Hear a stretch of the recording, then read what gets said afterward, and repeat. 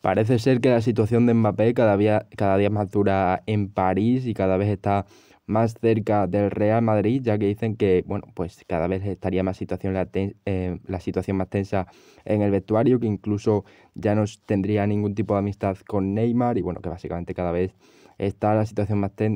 más tensa como con el entrenador, como con la directiva y que está cada vez más a disgusto en París, por lo que básicamente esto lo estaría acercando al Real Madrid, aunque desde París lo siguen presionando para renovar tanto a él como a su familia y veremos a ver cómo acaba desarrollándose todo esto, pero bueno, cada vez más cerca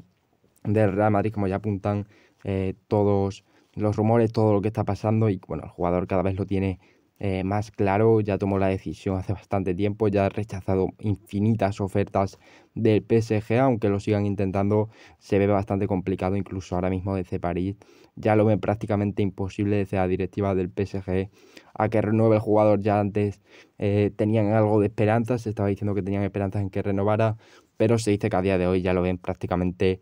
imposible porque ha rechazado contratos eh, brutales que podría cobrar incluso más que Neymar y Messi. Y bueno, pues el jugador tiene claro que quiere fichar por el Real Madrid y no ha cambiado todavía de opinión.